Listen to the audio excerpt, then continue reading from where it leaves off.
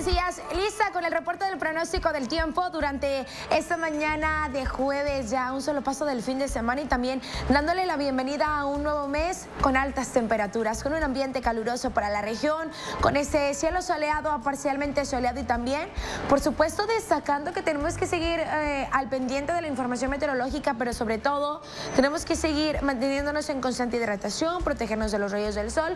Yo sé que hemos sido constantes con todas estas recomendaciones, pero es importante que usted la sacate y que por supuesto se siga cuidando muchísimo, porque esto va para largo. Al menos de aquí hasta el fin de semana continuamos con este ambiente tan caluroso, en algunos casos hasta muy bochornoso, con esta sensación de incomodidad y que hace que todavía nos eh, deshidratemos eh, con mayor facilidad. Entonces, a tener mucho cuidado. En esta jornada, las altas presiones nos acompañan en la mitad norte del territorio nacional, pero especialmente aquí en la región. Y en general, en la mayor parte del país, hay una baja probabilidad de lluvia en sectores como el occidente y hacia el centro. Hay algunos chubascos ocasionales, al menos para este inicio de mes. Eh, temporalmente ha ido desapareciendo la lluvia. No hay un factor bien definido que aporte inestabilidad. Solamente es el calor de la tarde y el efecto de la montaña que hace que todavía ciertas precipitaciones dominen. En el caso de Coahuila, hay chubascos ocasionales o aislada esta lluvia para esta tarde, sobre todo en Saltillo.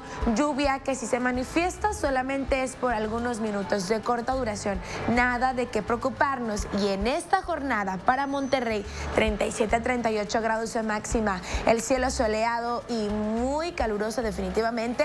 Incluso durante la noche continuamos con altos valores, con 31 a 32 grados y el cielo medio nublado. Hablando del fin de semana, ponga mucha atención. El viernes, sábado y domingo, parcialmente soleado, mínima de 25 y máxima de 36 a 37 grados. Condiciones que se prestan favorablemente para cualquier tipo de actividad al aire libre, solamente considerando el ambiente caluroso y la baja probabilidad de precipitación para el próximo domingo apenas en un 20%. Lunes y martes también para la próxima semana muy caluroso, parcialmente soleado con 37 a 39 grados de máxima.